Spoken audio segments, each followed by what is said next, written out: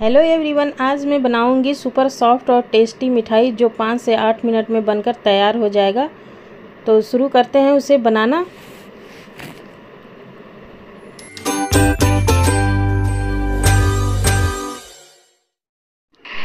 तो एक mixer jar ले लेते हैं और उसमें डाल लेते हैं कुछ ड्राई फ्रूट्स और उसमें डाल लेते हैं एक चम्मच नारियल का भूरा और इनको पीस लेते हैं। बारीक या दरदरा पीस लीजिए। तो हमने पीस लिया है इसे। इसे एक ले लेते हैं प्लेट में। प्लेट में गिरा लेते हैं इसे। और इसमें डाल लेते हैं इलायची पाउडर। इसमें इलायची पाउडर हम डालेंगे। तो इलायची पाउडर डाल लेते हैं। एक चम्मच इलायची पाउडर डाल लेते हैं। और डाल लेंगे इसमें चीनी का पाउडर है ये। चीनी को हमने पीस लिया था मिक्सर में ही और इसे ले लिया है। तो एक चम्मच डाल लेते हैं चीनी पाउडर। चीनी आप अपने स्वाद के अनुसार डालिए, मीठा कम या ज़्यादा कर सकते हैं आप। तो इसे मिला लेते हैं। और थोड़ा सा एक आध दो चम्मच दूध डालकर इसे हम थोड़ा सा मिला लेते हैं। ज़्यादा दूध यहाँ नहीं डालना है, क्योंकि अभी इसमें हमें पनीर मिलाना है। पनीर से भी ये सॉफ्ट हो जाता है। तो मैंने एक से दो चम्मच, छोटे चम्मच से ही दूध लेकर इसे मिला लिया है। तो प्लेट छोटा पड़ रहा है, इसे हम एक बाउल में ले लेते हैं। और इसमें डाल लेते हैं पनीर। लगभग 200 ग्राम पनीर है, घर का निकाला हुआ पनीर है। और इसे मैश करके हम इसमें मिला देंगे। तो इसमें डाल लेते हैं और इसे अच्छी तरह से मैश कर लेंगे ड्राई फ्रूट्स के साथ। और एक डोट तैयार कर लेंगे। इसे हम थोड़ा सा आधा निकाल लेते हैं, आधा इसमें रहने देते हैं, क्योंकि हमें दो कलर से इसका मिठाई के लिए स्टफिंग बनाना है। तो हम यहाँ पे फ़ूड कलर यूज़ कर रहे हैं। तो इसमें हम डाल लेते हैं ग्रीन फ़ूड कलर और इसे मिला लेते हैं उसमें। और ये हमारा ग्रीन डोट तैयार हो गया है। तो ये मिठाई का स्टफिंग है। और अब मिला लेते हैं। इसमें जो हमने आधा पहले निकाला था, उसमें मिला लेते हैं येलो कलर और इसे भी हम मिला लेंगे। और इस तरह से दो कलर का हम मिठाई तैयार करेंगे। और अब इसके बॉल बना लेते हैं। मनचाहा आकार के बॉल बनाएँगे, छोटा बड़ा, जो भी साइज़ आप रखिए। तो बॉल तैयार कर लेते हैं।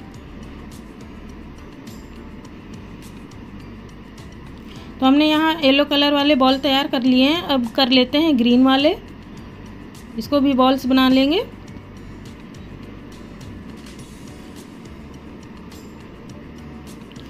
थोड़ा थोड़ा लेते हुए हम इसका बॉल बना लेते हैं।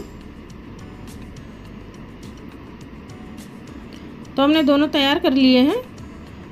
और अब ले लेते हैं एक बड़ा बाउल गहरा, और उसमें डाल लेते हैं दो चम्मच लगभग।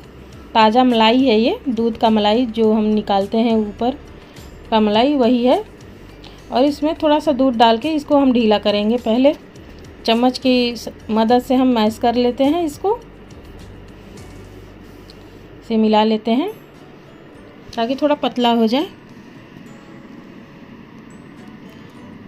पूरे दूध को डाल देंगे। एक गिलास लगभग दूध इसमें चाहिए। तो एक गिलास हमने दूध लिया है, इसे डाल देते हैं।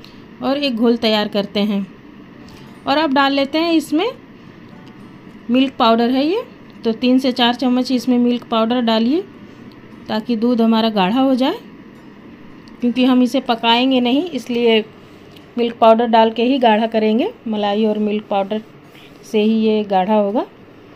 और इसे मिला लेते हैं अच्छी तरह से। दूध गर्म नहीं है। ठंडा ही दूध में मैं मिला रही हूँ। इसके लिए ठंडा दूध ही चाहिए हमें। रूम टेम्परेचर वाला। और इसमें डाल लेते हैं एक चम्मच चीनी पाउडर, क्योंकि इसे भी मीठा करना है। तो इसे मिला लेते हैं। और एक गाढ़ा घोल तैयार कर लेंगे। गाढ़ा रहेगा तो अच्छा रहेगा। और ले लेते हैं ब्रेड क्योंकि ब्रेड से ही हम इसे बनाएँगे मिठाई। तो घोल को अभी एक तरफ़ करते हैं और ब्रेड के किनारों को हम काट लेते हैं। हमें बीच वाला भाग चाहिए और जो किनारे का ब्राउन भाग है उसको हम निकाल देते हैं। तो साइड साइड से हम निकाल लेंगे ब्रेड के किनारों को और इस तरह से हमें करके लेने हैं।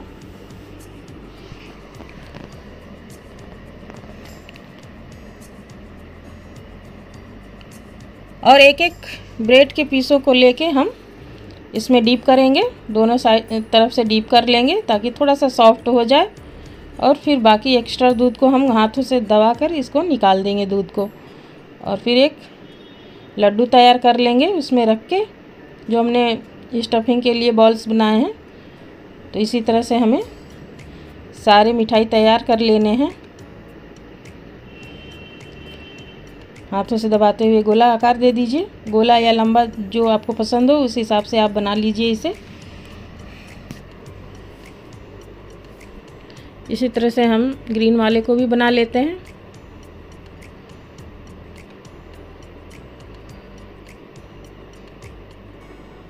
ये बहुत ही आसानी से बन के तैयार हो जाता है। इस होली में आप इसे ज़रूर बनाइए। बहुत आसानी से बन के तैयार होता है और खाने में भी बहुत टेस्टी लगता है। तो हमने सारे बना लिए हैं। अब इस पर सिल्वर वर्क लगाते हैं। सिल्वर पेपर जो आता है, मिठाइयों में लगने वाला तो उसे लगा देते हैं। थोड़ा थोड़ा लगाएँगे।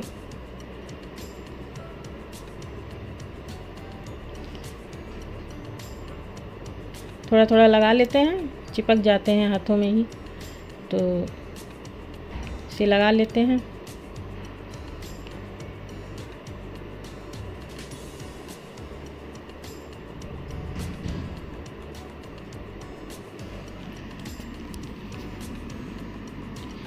तो थोड़ा थोड़ा हमने लगा लिए हैं मिठाई के ऊपर, सिल्वर पेपर, और अब डाल लेते हैं इनके ऊपर जो घोल बचा है, उसको हम इसके ऊपर डाल देंगे मिठाइयों के ऊपर चम्मच की मदद से, ताकि और भी जूसी बन जाए ये मिठाई हमारी।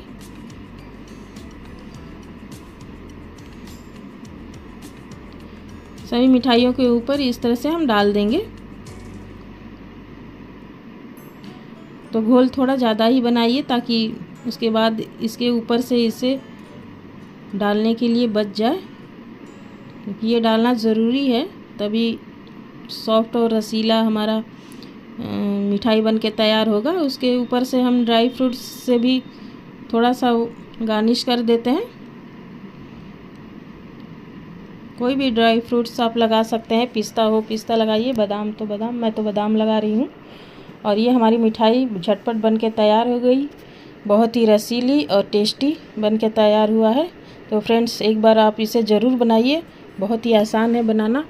और वीडियो पसंद आए तो इसे लाइक करिए। चैनल पे हमारे नए हैं तो सब्सक्राइब करिए। मिलते हैं नेक्स्ट वीडियो में।